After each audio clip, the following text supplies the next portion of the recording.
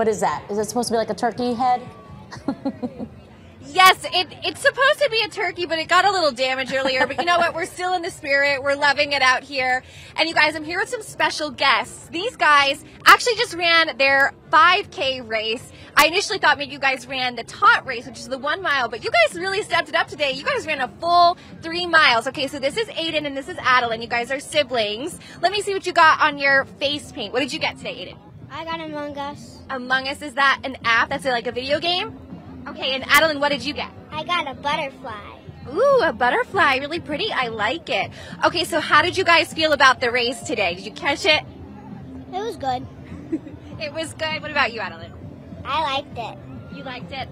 What has been your favorite part about Thanksgiving so far today? Um, running. Running. What about you? Same. Same.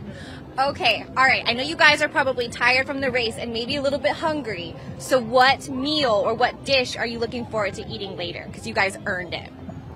Pumpkin pie. Oh, in unison, pumpkin pie. Pumpkin pie is my favorite too. Well, high five, you guys. You did an excellent job today. And I'm hearing that you guys actually have done 5Ks before. Yeah. Yeah, okay. How old are you? I'm six. I'm nine. Okay, who won today? Me. How much did you win by? A little bit. Just a little bit. All right. Well, congratulations again, guys.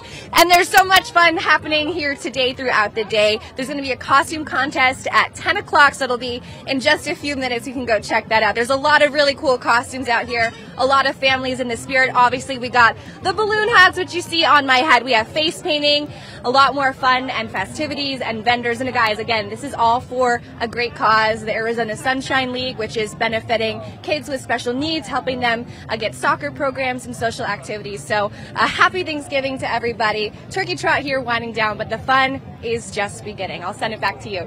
Oh, that is That awesome. is a lot of fun Happy for sure. Thanksgiving, Sarah. Yes, great way to start the day.